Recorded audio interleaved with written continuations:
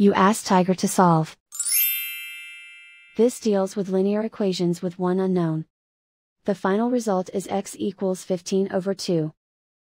Let's solve it step by step. Simplify the expression. Simplify the arithmetic. Group all constants on the right side of the equation. Add 60 to both sides.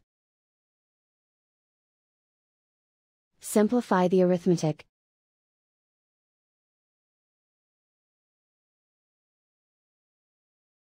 Isolate the x. Divide both sides by 8. Simplify the fraction. Find the greatest common factor of the numerator and denominator. Factor out and cancel the greatest common factor. And so the final result is x equals 15 over 2.